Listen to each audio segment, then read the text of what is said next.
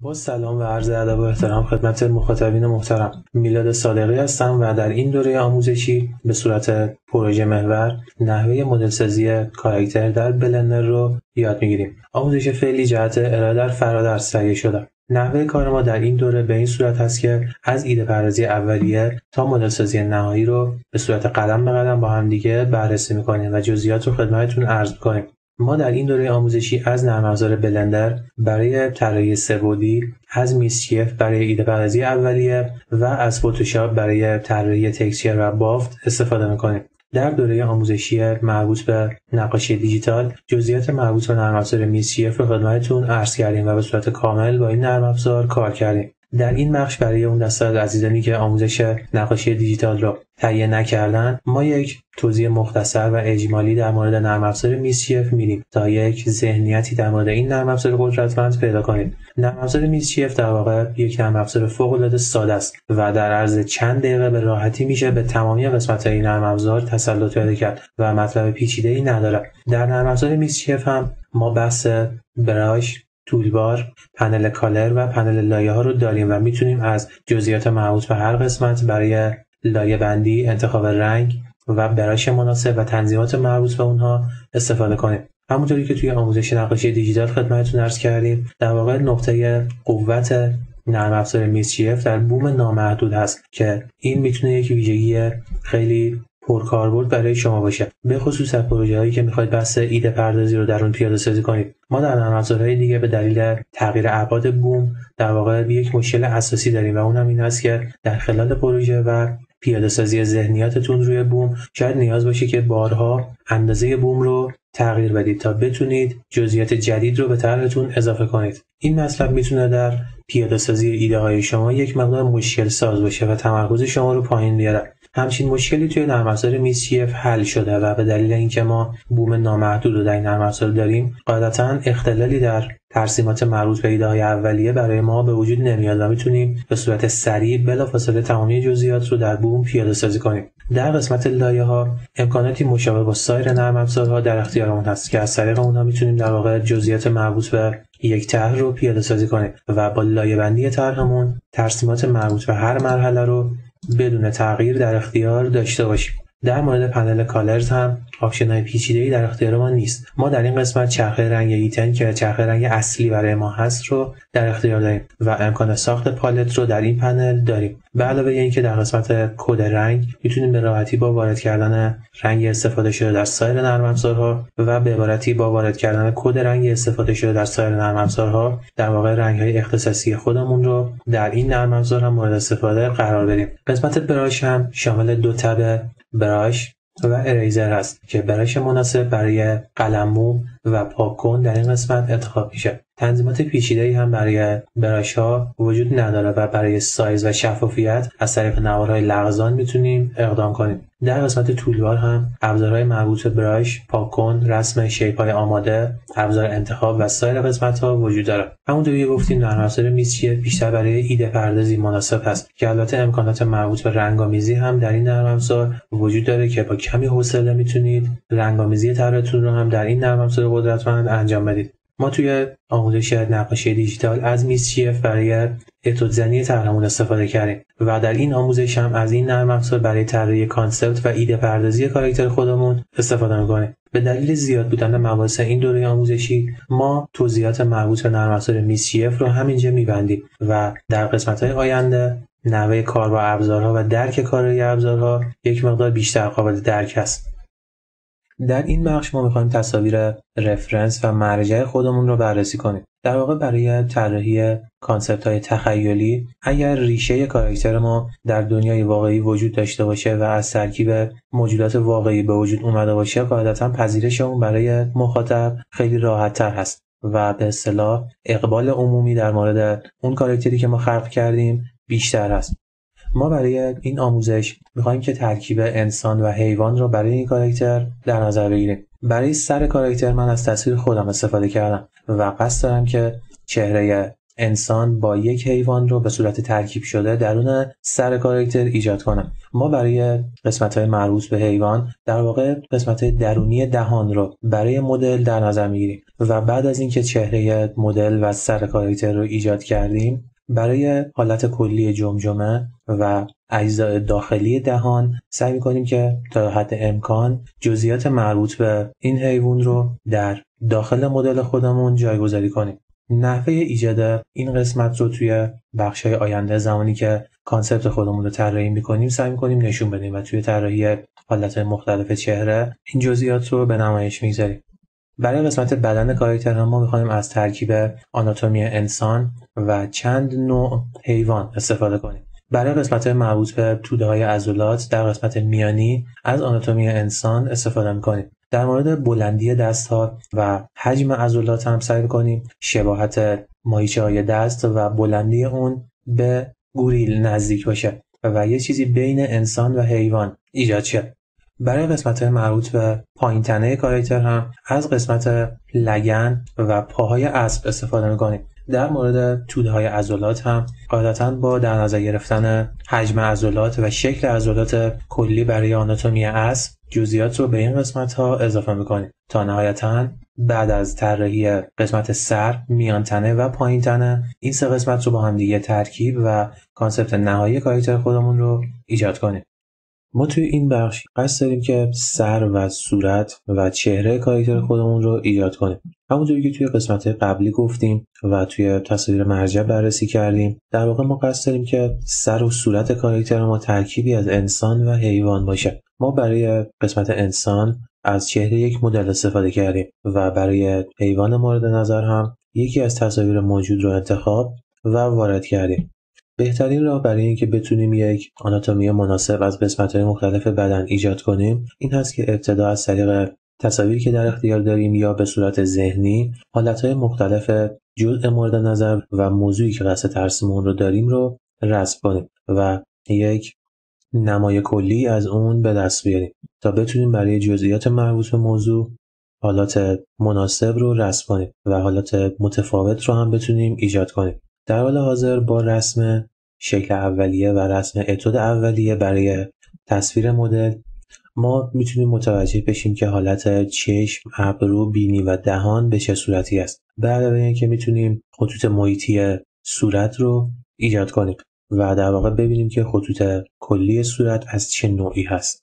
اجزای صورت که در چهره افراد مختلف با هم متفاوت هستند قسمت های چشم و ابرو بینی دهان و در واقع اجزای صورت و علاوه بر اون حالت کلی صورت هست. ما برای رسم صورت می‌تونیم از یک دایره استفاده کنیم و در واقع این دایره در تمامی حالات می‌تونیم استفاده کنیم و برای رسم هر حالتی از چهره این دایره فرضی رو وقتی رسم کنیم در واقع می‌تونیم محل قرارگیری سر رو تشخیص بدیم که کجاست و بعد از اون با اضافه کردن جزئیات نمای کلی صورت و سر کاراکتر رو به دست بیاریم. ما بعد از اینکه تصویر مدل رو رسم کردیم و اتو تصویر رو زدیم همونجوری که ملاحظه کردید با یک مقدار تغییر زاویه نمای روبرو از چهره مدل رو تونستیم که به راحتی رسم کنیم. چرا که با رسم اولیه که انجام دادیم حالت کلی چشم و ابرو و سایر اجزای صورت رو به دست آوردیم و توی مرحله بعد کار سختی نیست اگر بخوایم یک مقدار تغییر زاویه رو به صورت ذهنی انجام بدیم. چرا که اگر شکل کلی اجزای صورت در اختیار ما باشه و بدونیم که این شکل به چه صورتیه قاعدتا تغییر اون کار مشکلی نیست و به راحتی می‌تونیم این تغییر رو انجام بدیم. برای حالت سوم ما زاویه نیمرخ رو در نظر گرفتیم. برای حالت نیمرخ و زاویه نیمرخ هم تا حد زیادی می‌تونیم به صورت ذهنی عمل کنیم. چرا که حالا ما خیلی کاری به رسم چهره و شباهت چهره نداریم فقط می‌خوایم که نمای کلی کارمون به دست بیاد. توی این مثال هم کار اصلی که ما می‌خوایم انجام بدیم و جزء اصلی که باید به درستی رسم بشه حالت کلی صورت و خط محیطی صورت به علاوه چشم و ابرو و بیس کلی چهره است. ما بقیه مسائل چون قرار هست که با یک موجود دیگه ترکیب بشه قاعدتا دارای تغییراتی میشه. بعد از رسم دو زاویه اصلی روبرو و نیمرو ما در واقع می‌تونیم به راحتی مدل دیگه و حالات دیگه از چهره رو رسم کنیم و همین دو حالتی که ترسیم کردیم می‌تونه نمای کلی رو در اختیار ما بگذاره تا بتونیم با استفاده از میانیابی زوایای دیگر رو هم رسم کنیم و می‌تونیم این کار رو به راحتی بدون استفاده از تصویر هم انجام بدیم. البته هر چقدر تصویر بیشتری در اختیار ما باشه از مدلمون قاعدتا رسم حالت مختلف هم ساده تر میشه. در مورد رسم اتود و اتود زنی ما توی نقاشی دیجیتال و طراحی آناتومی حیوانات جزئیات لازم برای اینکه به چه صورتی بخوایم یک اتود اولیه رو رسم کنیم مطرح کردیم و مطالب به صورت کامل توی اون آموزش ها مطرح شده. توی این آموزش به صورت خلاصه اینکه بهترین راه برای رسم چهره شروع کار از خطوط محیطی صورت هست تا به این شکل بتونیم محدوده چهره و حالت کلی چهره رو تشخیص بدیم. بعد از اون با اضافه کردن یک تارگت که نشون دهنده زاویه دیده هست در واقع محل قرارگیری چشم و ابرو رو مشخص می‌کنیم و بعد از مشخص شدن محل قرارگیری چشم قاعدتا تشخیص و رسم سایر اجزای صورت کار سختی نیست و می‌تونیم به راحتی سایر اجزا رو هم اضافه کنیم. نهایتا توی نقاشی از چهره هم دقیقا مثل مباحثی که توی نقاشی دیجیتال خدمتتون عرض شد برای رسم منظره و موضوعات مختلف طبیعی و شهری یک مسئله خیلی خیلی مهم شروع کار و ایجاد اتود اولیه است. چرا که بعد از اتود اولیه ما قاعدتا می‌دونیم که جزئیات به چه صورتی باید رسم شد و می‌تونیم به راحتی با صرف یک مقدار زمان جزئیات لازم رو اضافه کنیم و رسم نهایی خودمون رو به دست بیاریم. یک حالت دیگه ای که در مدل های سر و صورت اهمیت زیادی داره حالت زاویه داره سر و صورت رو به پایین و رو به بالا هست. ما توی حالت بعدی سعی می‌کنیم یک مقدار زاویه دید رو به سمت پایین مایل کنیم تا نهایتا بتونیم شکل اجزای صورت و شکل کلی چهره کاراکتر رو ببینیم که به صورت زاویه دار به چه شکلی هست. در حالت زاویه دار رو به پایین عادتا سطحی که برای موهای کاراکتر در نظر گرفته میشه یک مقدار بیشتر هست. که این سطح اگر ما بخوایم کاراکتر رو بدون مو رسم کنیم مربوط به قسمت بالای جمجمه و سطح مسطح بالای جمجمه میشه.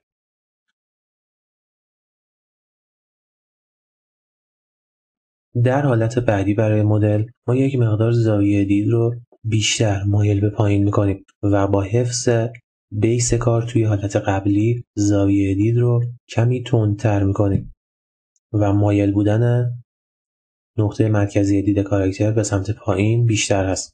در این حالت هم همونطوری که می‌بینید کاملا اصول اولیه مشابه به حالت قبلی هست. فقط زاویه تندتر شده به همین دلیل قسمت مربوط به چشم و ابرو هم حالت متفاوتی نسبت به حالت قبلی گرفتن و شکل اونها کاملا متناسب با زاویه دید رو به پایین هست.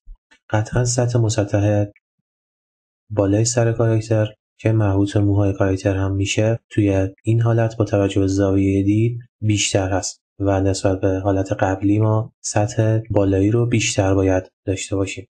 در مورد اندازه صورت هم کشیدگی صورت توی این زاویه به دلیل تندتر شدن نقطه مرکزی تاریت یک مقدار کمتر هست نسبت به حالت قبلی.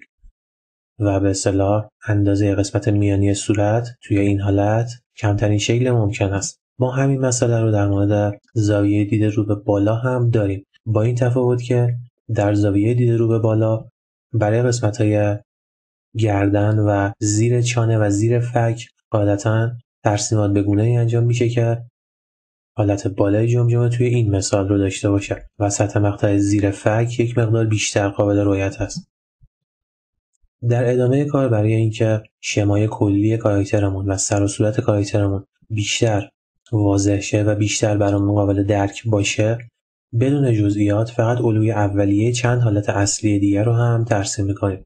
توی این حالت یک مقدار خیلی کم زاویه دید کاراکتر رو رو به بالا در نظر می‌گیریم تا نهایتا ببینیم که قسمت های زیر فک به چه صورتی نمایش داده میشن. و ببینیم که سطح مقطع بالای جمجمه به چه صورتی کاهش پیدا می‌کنه که این سطح مقطع مربوط به قسمت های موهای کاراکترمون میشه. همونطوری که ملاحظه می‌کنید در واقع مرحله دوم که اهمیت خیلی زیادی داره برای ما این هست که تاریت رو مشخص کنیم و همین دو منحنی ساده افقی و عمودی که ترسیم می‌کنیم در واقع به راحتی می‌تونه محل قرارگیری اجزای صورت رو برای ما مشخص کنه. پس مرحله اول تا به اینجا این بود که ما خطوط محیطی چهره و سر رو رسم کنیم تا حالت چهره و سر به دست بیاد. مرحله دوم اضافه کردن تاریت به این شکل اولیه بود تا بتونیم محل قرارگیری اجزای صورت رو هم تشخیص بدیم. در مرحله آخر بعد از اضافه کردن اجزای صورت کمی جزئیات و موهای کاراکتر رو هم روش کار می‌کنیم تا بتونیم خطوط مناسب و حالت مناسب برای این قسمت رو هم به دست بیاریم. به سراغ حالت بعد میریم. حالت بعدی کاراکتر ما حالت تقریبا سرخ هست و کمی هم مایل به بالاست. در تمامی حالات و زوایا همونطوری که در ابتدای این بخش هم گفتیم رسم دایره فرضی می‌تونه برای ما خیلی مفید باشه. با اینکه توی زوایای مختلف حالت سر و صورت متفاوت هست اما در واقع این دایره فرضی برای ما به صورت یکسان رسم میشه که اون هم مربوط به به دست آوردن بیس چهره و جمجمه است. چرا که در واقع ما اگر جمجمه رو در هر زاویه و هر نمایی قرار بدیم قاعدتا شکل کلی گردی میانه جمجمه حفظ میشه. به همین دلیل هم ما این دایره فرضی رو به صورت ثابت در تمامی نماها و زوایا در نظر می‌گیریم و از طریق همین دایره فرضی سایر جزئیات رو به قسمت مختلف مدل اضافه می‌کنیم. پس این مطلب رو مد نظر داشته باشید که شکل کلی جمجمه به هیچ عنوان نباید تغییر پیدا کنه و اندازه کلی اون تغییر خاصی نباید داشته باشه. فقط با تغییر زاویه دید قسمت مربوط به اجزای صورت و فک تغییر پیدا می‌کنم و با توجه به زاویه دید تغییراتی در اون به وجود میاد. با اضافه کردن جزئیات مربوط موهای کاراکتر می‌تونیم ببینیم که نمای کلی کار ما توی این حالت به چه صورتی است. برای قسمت های مربوط به اجزای صورت هم خیلی کاری به جزئیات اصلی نداریم. فقط محل رو مشخص می‌کنیم و به سراغ حالت بعد میریم. در حالت بعد ما شرایطی مشابه با حالتهای ترسیم شده رو داریم. با این تفاوت که یک مقدار زاویه دید رو رو به پایین مایل می‌کنیم و از نمای سرخ رو به پایین برای رسم این حالت استفاده می‌کنیم.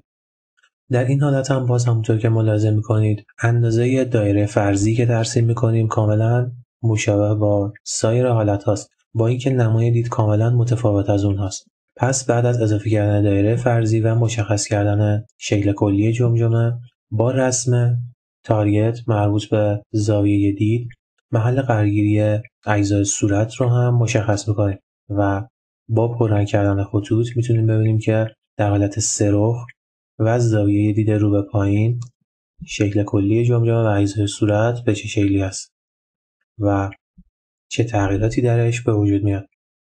برای حالت بعد هم باز از دایره فرضی خودمون استفاده می‌کنیم. ما توی حالت بعد می‌خوایم ریاکشن مربوط به فریاد زدن رو رسم کنیم.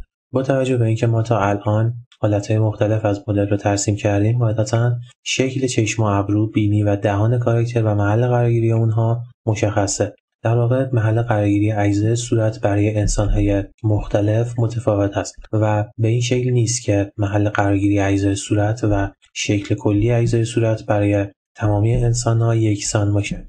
در واقع بحث طراحی چهره هم کاملا گویای همین مطلب هست. چرا که ما توی چهرههای متفاوت علاوه بر اینکه شکل مختلف چشم و ابرو و بینی و دهان رو داریم محل قرارگیری اونها با هم دیگه متفاوت هست. توی بحث طراحی کاریکاتور چهره هم همین جزئیات که شاید خیلی اهمیتی هم نداشته باشه نقش خیلی مهمی داره. چرا که ما مثلا می‌تونیم برای طراحی کاریکاتور چهره از یک فرد فاصله بین دو چشم اون فرد رو یک مقدار اقراق‌آمیزتر کنیم بیش از حد نزدیک یا بیش از حد دور کنیم. و یا شکل کلی چشمای اون فرد رو یک مقدار تغییر حالت درش ایجاد کنیم و با حفظ بیس چشم کمی کشیدگی یا انحنای بالا و پایین اون رو گسترش بدیم تا نهایتا حالت مناسب برای موضوع کاریکاتور به دست بیاد. حالت بعدی که می‌خوایم ترسیم کنیم حالت سرخ و مایل به بالا برای سر کاراکترمون هست. ما توی این حالت می‌خوایم برای چشم و ابروی کاراکتر شیل متفاوتی رو در نظر بگیریم و یک reaction متفاوت برای چهره مدل رو ایجاد کنیم.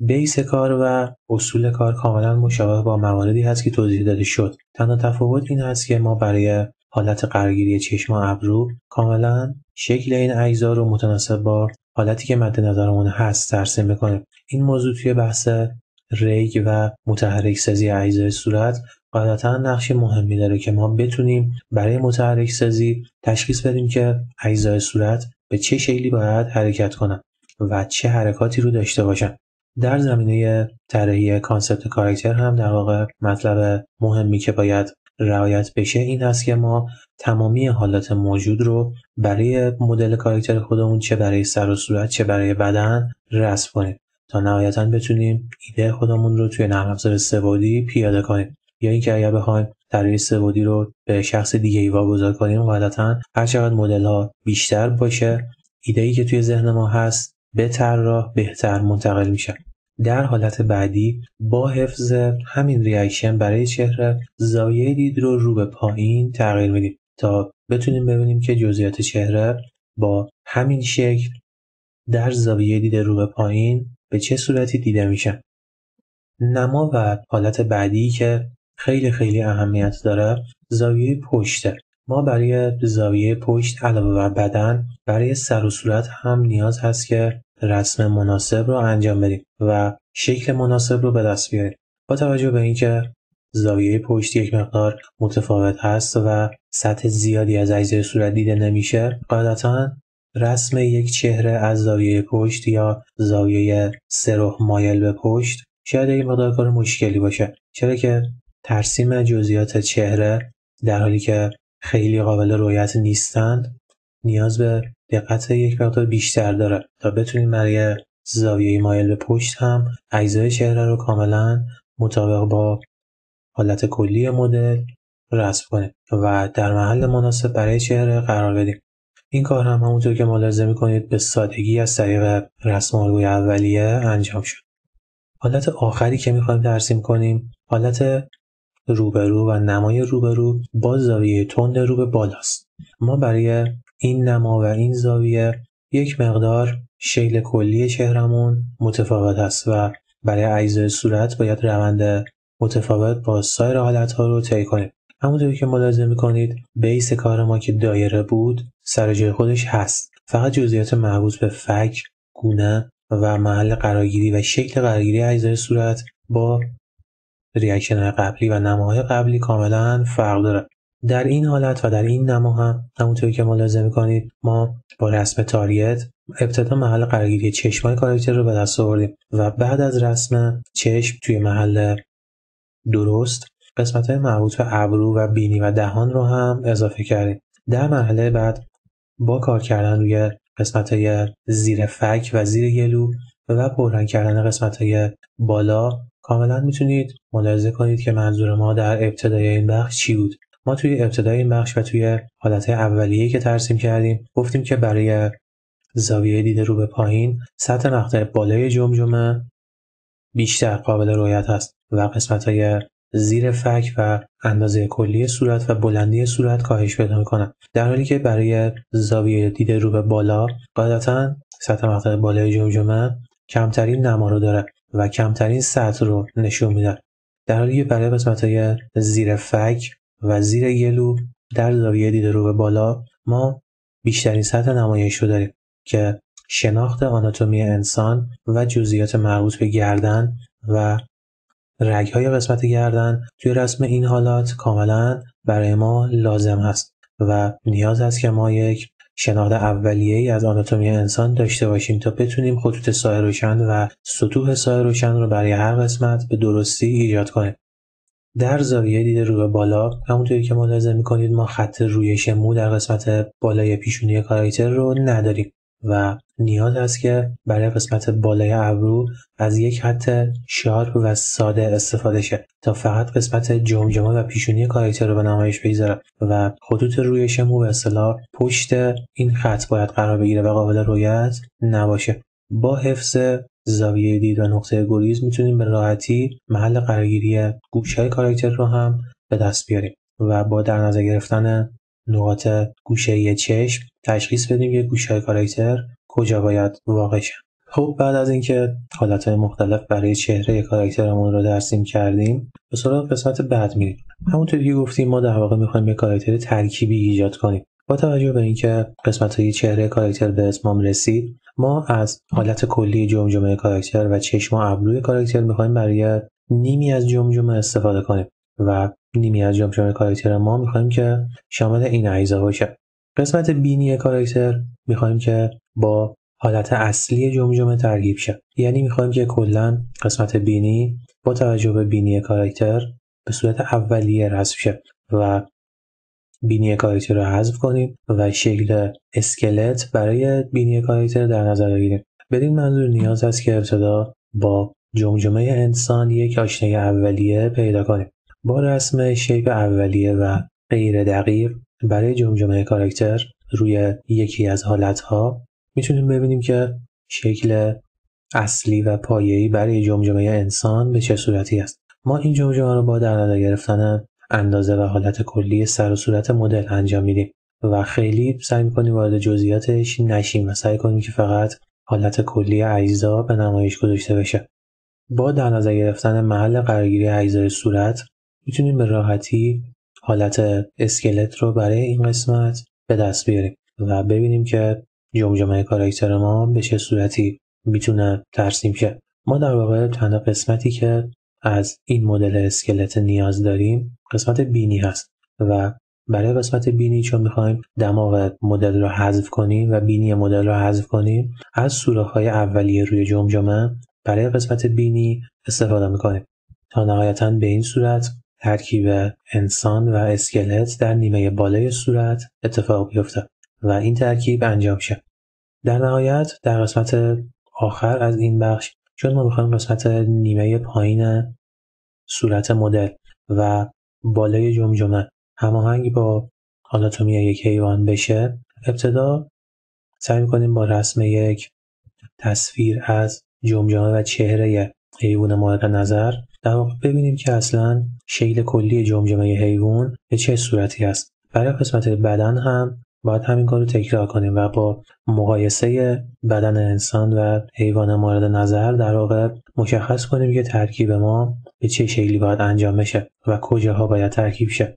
ما در قسمت سر و صورت چون که می‌خوایم قسمت دهان از این حیوان الهام گرفته بشه و به اصطلاح قسمت دهان مدل ما با دهان این حیوان جایگزین بشه؟ نیاز است که درک خودمون رو از اجزای صورت و محل قرارگیری اجزای صورت این حیوان هم یک مقدار بالا ببریم.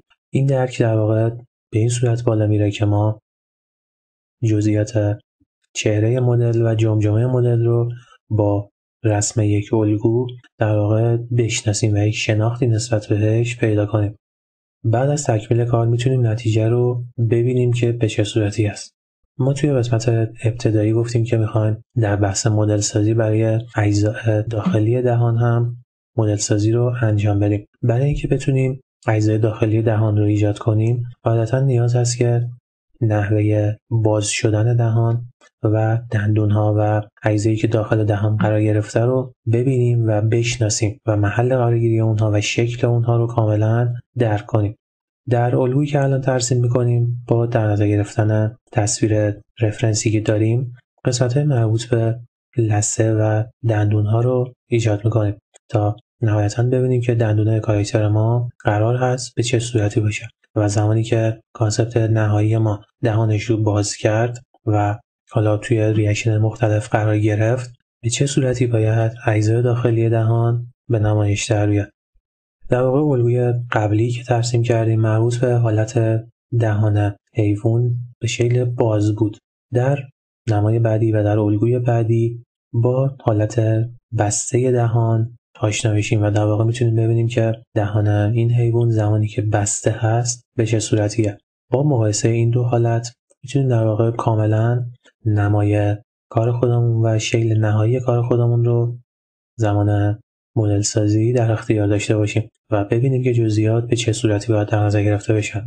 حالت بعدی که در این قسمت نیاز داریم تا بتونیم کاملا جزئیات رو پیاده سازی کنیم حالت نیمرخ از موضوع مربوط به حیوان هست. با رسم یک نمونه ساده از این حیوان در حالت نیمرخ می‌تونیم کاملا تفاوت شکل کلی جمجمه این حیوان با جمجمه مدل رو درک کنیم و ببینیم که این تفاوت به چه صورتی است و جزئیات مربوط به سطح صورت و اجزای صورت در این حیوان چه تفاوتهایی در مورد اندازه و محل قرارگیری با مدل اولیه ما داره.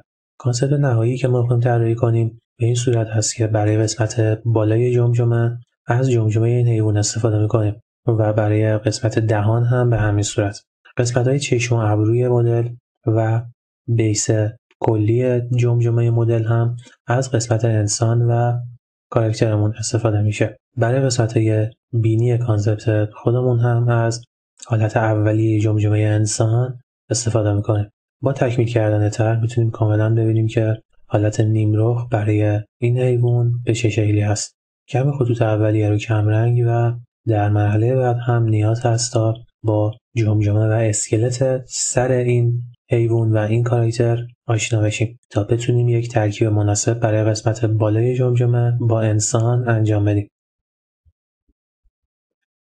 همونطوری که ملاحظه می‌کنید با رسم خطوط محیطی مربوط به فک و قسمت بالای جمجمه کاملا می‌تونیم متوجه بشیم که ترکیب نهایی ما به چه صورتی باید انجام شه و این ترکیب در واقع مراحلش به چه صورتی است؟ با اضافه کردن حفره مربوط به چشم کاملا تفاوت جمجمه و اسکلت انسان و این حیوان رو می‌تونیم درک کنیم. با اتمام کار به سراغ رسم کانسپت نهایی میریم. برای رسم اولیه از چهره کاراکتر نهایی ما از الگوی اولیه شروع می‌کنیم. و طبق معمول با رسم یک دایره جزئیات مربوط به خطوط محیطی سر و صورت رو رسم می‌کنیم. با اضافه کردن تارگت محل قرارگیری چشم و ابروی کاراکتر رو می‌تونیم مشخص کنیم. کاملا مراحل کار تا به اینجا مطابق مراحلی بود که برای حالت اولیه مدل انسان طی کردیم و همون مراحل رو توی این قسمت هم تکرار می‌کنیم. با مشخص کردن محل قرارگیری اجزای صورت از طریق شیپ های ساده برای قسمت بینی از شکل بینی در جمجمه انسان استفاده می‌کنه. و به این شکل در واقع بینی کاراکتر ما با اسکلت جایگزین شده. برای قسمت دهان کاراکتر مطلبی که باید توجه کنیم این هست که در واقع قسمت راست و چپ دهان کاملا مطابق با مدل باید در نظر گرفته بشه. با توجه به اینکه حیوان ما یک مقدار دهانش از انسان بزرگتر هست قاعدتا چپ و راست و قسمت ابتدا و انتهای دهان هم باید در محل مناسب با در نظر گرفتن نقطه میانی چشم ترسیم شه تا اندازه و بزرگی دهان کاملا مشابه با مدل نمونه حیوان شه. برای قسمت بالای جمجمه با در نظر گرفتن شکل کلی و آناتومی حیوانی که انتخاب کردیم جزئیات بالای جمجمه رو برای مدلمون رسم کنیم تا به این صورت جمجمه انسان و حیوان به صورت ترکیبی با همدیگه در concept نهایی وجود داشته باشه و مدل ما شامل ترکیبی از جمجمه انسان و حیوان باشه. خیلی وارد جزئیات مربوط به بدن نمیشیم و توی بخش آینده با کار روی توده های عضلات و جزئیات قسمت های میانی بدن قاعدتا نمای دقیق تری رو می‌تونیم از اجزای بدن و عضلات بدن داشته باشیم. ما برای مدل خودمون می‌خوایم یک مقدار موهای پشت سر رو بلند در نظر بگیریم که این موها رو می‌خوایم به صورت به اصطلاح دنبه اصلی در بالای سر در حالت بسته شده داشته باشیم. به همین دلیل با رسم خطوط اولیه برای این قسمت و ترسیم موهای سر کاراکتر می‌تونیم ببینیم که در واقع ایده اصلی ما برای موهای سر کاراکتر به چه صورتی است. نهایتا با اتمام کار من دو تا شاخ هم برای قسمت جلوی سر اضافه کردم و با پررنگ کردن خطوط و کار روی جزئیات می‌تونیم ببینیم که نتیجه کار ما به چه صورتی است. در واقع مدلی که ما الان توی زاویه سرخ ترسیم کردیم باید به عنوان مرجع برای سایر حالات در نظر گرفته شد و همین مدل در نماهای دیگه و در زوایای دیگه باید به صورت کامل پیاده سازی شه نمونه آخری که در این بخش بررسی می‌کنیم مربوط به حالت نیمرخ از همین کاراکتر هست که شبیه سازی حالت فریاد رو برای این کاراکتر می‌خوایم انجام بدیم. با رسم دایره فرضی برای جمجمه جزئیات مربوط به محل قرارگیری چشم و بینی و دهان کاراکتر رو هم مشخص می‌کنه. بعد از اتمام کار من در فتوشاپ اصلاحات نهایی رو روی مدل ترسیم شده ایجاد کردم. با بررسی نمای نیمرخ می‌تونیم ببینیم که حالت کاراکتر ما در نمای سرخ و نیمرخ به چه صورتی است و جزئیات مربوط به اجزای سر و صورت باید به چه شکلی رسم شد خب بخش بعدی مربوط میشه به طراحی پیکره کاراکتر برای نیمتنه بالا.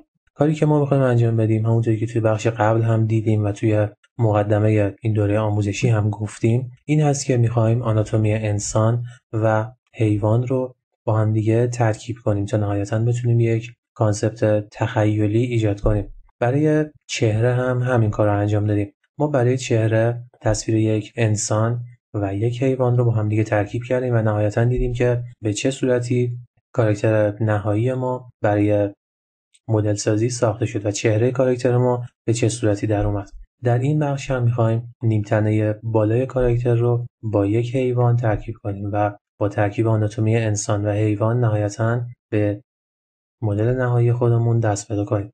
ابتدا برای اینکه یک مروری هم روی مباحث مربوط به دوره نقاشی دیجیتال داشته باشیم نیاز است که پیکره نیمتنه بالای کاراکتر رو رسم کنیم. با توجه به تصاویر رفرنسی که در اختیار داریم و حالتهای موجود در این تصویر. به راحتی می‌تونیم نیمتنه بالای کاراکتر رو برای انسان ایجاد کنیم و نهایتا ببینیم که توده های عضلات انسان در قسمت نیمتنه بالا به چه صورتی است. ما در واقع توی آموزش مربوط به نقاشی دیجیتال یک بخشی رو داشتیم که اختصاصا برای طراحی پیکره انسان بود و جزئیات مربوط به طراحی حالت مختلف بدن رو توی اون قسمت مطرح می‌کردیم. در واقع مطالبی که توی این بخش داریم روش کار می‌کنیم. هیچ تفاوتی با بخش مربوط توی نقاشی دیجیتال نداره و در واقع از همون روش و همون توده های عضلات به همون سبک داریم استفاده می‌کنیم تا بتونیم قسمت نیمتنه بالا رو ایجاد کنیم. فقط کاری که ما توی این دوره آموزشی و توی این بخش می‌خوایم انجام بدیم این هست که آناتومی بدن انسان و حیوان رو با هم ترکیب کنیم که برای حیوان و برای بدن حیوان ما گوریل و اسب رو انتخاب کردیم تا نهایتا برای نیمتنه میانی و نیمتنه پایین و پاهای کاراکتر از این دو حیوان استفاده کنیم و با کاراکتر انسان و با بدن انسان این آناتومی مربوط به حیوانات رو ترکیب کنیم. برای نیمتنه بالا از آناتومی انسان و گوریل استفاده می‌کنیم تا نهایتا بتونیم concept نهایی رو به دست بیاریم. در مورد آناتومی بدن گوریل در واقع تفاوت چندانی بین پیکره گوریل و انسان وجود نداره و base کار یکسان هست. فقط در مورد حجم عضلات و اندازه اجزای بدن قطعا یک سری تفاوت وجود داره که توی رسم پیکره انسان و حیوان قاعدتا این تفاوت ها قابل درکه و می‌تونیم به راحتی مشخصات مربوط به هر دو نوع رو رسم کنیم و ببینیم که به چه صورتی هستن. با دقت در توده های عضلات مربوط به بدن انسان برای نیمتنه بالا قاعدتا نوع این عضلات کاملا در گوریل هم یکسان است. فقط در مورد حجم اونها و اندازه اونها تفاوتهایی وجود داره که توی رسم نیمتنه بالا برای گوریل ما این تفاوت رو می‌تونیم ببینیم. در مورد قسمت کمر، سینه و قسمت های مربوط با سن و عضلات پا هم به همین صورت است. ما در مورد دست و پاهای کاراکتر هم در واقع تفاوتهایی بین دو نوع انسان و این نوع حیوان داریم که توی ادامه همین بخش با بررسی اسکلت می‌تونیم به راحتی ببینیم که تفاوت بدن این دو گونه به چه شکلی هست.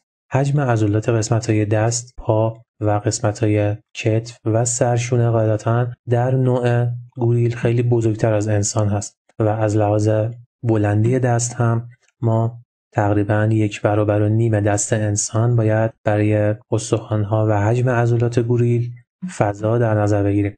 فعلا توی این بخش کاری به دستای کاراکتر نداریم و سعی می‌کنیم که تمرکز خودمون رو فقط روی قسمت نیمتنه بالا بگذاریم و پیکره مربوط نیمتنه بالا رو رسم کنیم. بعد از اتمام طراحی مربوط به پیکره انسان به سراغ گوریل میایم با بررسی اسکلت هر دو نوع می‌تونیم متوجه بشیم که قسمت قفسه سینه تقریبا دو برابر انسان برای گوریل هست و ما زمان رسم پیکره این حیوان باید این اندازه رو در نظر بگیریم. در مورد قطر گردن و عضلات قسمت متصل به بدن برای پشت گردن هم به دلیل کوتاه قد بودن گوریل قاعدتا حجم عضلات و قطر این قسمت باید حدودا دو برابر انسان در نظر گرفته شه. با توجه به شباهت زیاد بین نوع عضلات انسان و این نوع حیوان نیازی به تصویر مرجع برای گوریل نداریم و می‌تونیم به صورت حدودی تشخیص بدیم که عضلات برای این حیوان به چه شکلی رسم میشه. با اضافه کردن خطوط مربوط به توده های عضلات شکم کار خودمون رو ادامه میدیم. در مورد پاهای انسان و این نوع حیوان هم قاعدتا اندازه پاهای انسان از لحاظ بلندی دو برابر این نوع حیوان است. با این تفاوت که از لحاظ قطر و حجم عضلات پاهای گوریل قطری حدودا دو برابر پاهای انسان داره و از لحاظ حجم عضلات عضلات خیلی بزرگتری نسبت به انسان داره.